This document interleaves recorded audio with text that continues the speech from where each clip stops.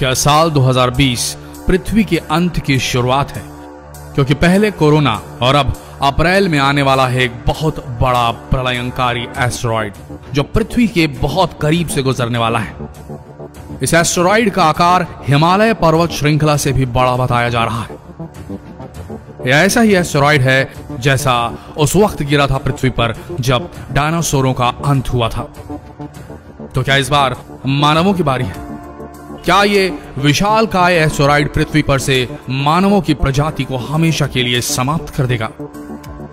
पुराने रिकॉर्ड्स और खगोल विदों की माने तो ये इतना बड़ा एस्टोराइड है कि अगर पृथ्वी से टकराया तो तीन बार तक जीवन समाप्त हो सकता है। एक ऐसा ही एस्टोराइड आज से 6.6 करोड़ साल पहले पृथ्वी से टकराया था और एक दशक तक के लिए पृथ्वी हिमयुग में चली गई थी। जो भी जीव थे वो सारे लुप्त हो चुके थे। विशाल काय भीम काय डायनासोरों का अंत हो चुका था।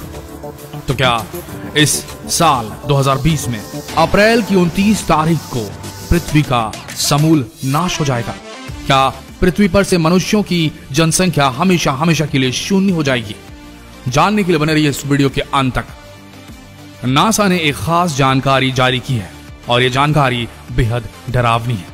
जिससे खुद दुनिया के सुपर पावर कहे जाने वाले देश जैसे कि अमेरिका और रूस सारे डरे हुए हैं। चीन तक में खलबली मच गई है नासा की इस रिपोर्ट से। आपको बता दें कि 29 अप्रैल को एक विशाल काय, एक विशाल काय कहने का मतलब हिमालय से भी बड़ा एस्टेरॉइड आने वाला है पृथ्वी की कक्षा के बेहद करीब। आपको बता दें, हमारी मानव जाति ने, हमारे नासा के साइंटिस्ट ने एक कैटेगरी तय की है हेजार्डस हेवनली बॉडीज की। ऐसे एस्ट्रॉयड ऐसे उल्का पिंड, ऐसे धूमकेतु जो पृथ्वी के पचहत्तर हज़ार किलोमीटर की रेंज के समीप से होकर निकलते हैं, जिनका आकार 100 मीटर से अधिक होता है, उन्हें घातक साबित किया जाता है।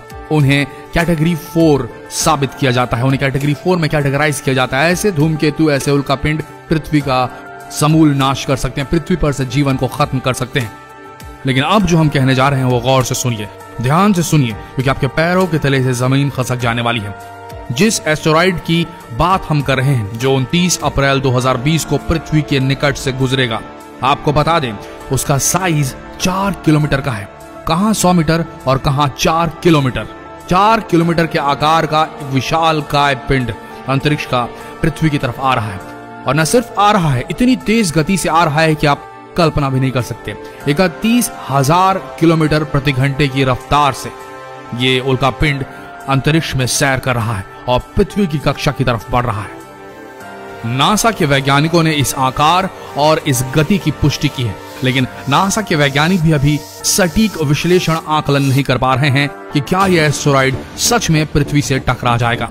देखिए, जो डिस्टेंस की लिमिट है पचहत्तर हज़ार किलोमीटर, वो बेहद कम है। जब हम ब्रह्मांडीय डिस्टेंस को कवर करते हैं, ब्रह्मांडीय डिस्टेंस के तुलना में बात करते हैं तो पचहत्तर हज़ार किलोमीटर, पचहत्तर सेंटीमीटर जैसा होता है। और बाल से बारीक भी डिफरेंस अगर हो गया अगर बाल से बारीक डिफ्लेक्शन भी अगर हो गया इस एस्ट्रोराइड की जो रूट है उसमें तो ये पृथ्वी की तरफ़ और रुख कर लेगा और उसके बाद जो करना होगा, वो पृथ्वी का गुरुत्वाकर्षण करेगा। और ये एस्ट्रोराइड और भी तेज गति से, यानी कि इकतीस हज़ार किलोमीटर की गति से भी तेज गति से पृथ्वी की तरफ़, पृथ्वी के गुरुत्वाकर्षण बल की वजह से खींचा चला आएगा और जहाँ भी इसका इम्पैक्ट होगा, वो पूरा देश, वो पूरा कॉन्टिनेंट बर्बाद हो सकता है और वहाँ से उठने वाले धूल के गुबार से पूरी पृथ्वी एक बार फिर हिमयुग में जा सकती है और पूरी पृथ्वी से, समूचे अर्थ से जो भी जीवन है, वो समाप्त हो सकता है। आपको बता दें, ऐसा ही एक उल्का पिंड टकराया था आज से छह दशमलव छह करोड़ साल पहले। और जब ये उल्का पिंड टकराया था तो कहा जाता है कि ये यूकोटेक झील नाम की जो जगह है, मैक्सिको की, वहाँ टकराया था। जब टकराया था तो कई मील गहरा गड्ढा हो गया था और कई मील चौड़ा एक बड़ा गहरा गड्ढा बन गया था। वो झील आज भी है और आज भी जितने भी साइंटिस्ट होते हैं वहाँ पर उस उल्का पिंड की स्ट्राइक को, उस मीटियोर स्ट्राइक को स्टडी करने के लिए उस झील का इस्तेमाल करते हैं। जब यह हुआ, आज से छह दशमलव छह करोड़ साल पहले तो फॉसिल विशेषज्ञ जो भी, जो फॉसिल्स की स्टडी करते हैं, उनकी नॉलेज के हिसाब से उन्होंने जो इन्फॉर्मेशन गैदर की है, उसके हिसाब से ये बताया गया कि उस वक्त, उस कालखंड में डायनासोर्स पृथ्वी पर मौजूद थे। और पूरे एक दशक तक इस स्ट्राइक के बाद धूल का जो गुबार उठा, वो पूरा छाया रहा पृथ्वी के ऊपर में। सूरज की किरणें पृथ्वी की सतह तक नहीं पहुँच पा रही थी और इस वजह से हिमयुग आ गया था।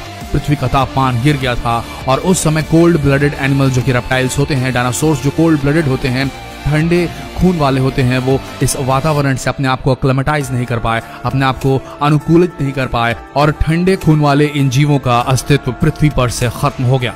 तो क्या इस 29 अप्रैल को हम गर्म खून वाले इंसानों की भी मृत्यु हो जाएगी, क्योंकि 29 अप्रैल को ये बहुत बड़ा एस्ट्रॉयड पृथ्वी के बेहद करीब से गुजरने वाला है, और इसे क्लास फोर डिक्लेयर कर दिया गया है।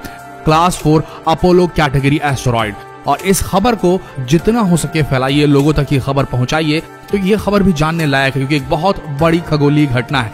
इतना बड़ा एस्ट्रॉयड आज से कई करोड़ साल पहले ही पृथ्वी से टकराया था और फिर से इतिहास रिपीट होने वाला है, ऐसा प्रतीत हो रहा है। हालाँकि अभी नासा के द्वारा पुष्टि नहीं की गई है, लेकिन हल्का सा भी अगर डिफ्लेक्शन होता है, हल्का सा भी अगर पथ भ्रष्ट हो जाता है, ये एस्ट्रॉइड ये पृथ्वी से टकरा कर रहेगा, ऐसे अनुमान लगाए जा रहे हैं। तो क्या फिर से हम ये सवाल आपसे पूछते हैं, क्या 2020 कोरोना के बाद ये एस्ट्रॉइड पृथ्वी पर प्रलय लाने का काम करेगा? आपके क्या विचार हैं? और क्या किया जा सकता है, ये कमेंट सेक्शन में ज़रूर लिखें। और ऐसे ही वीडियोस के लिए इस पेज को फॉलो करना ना भूलें।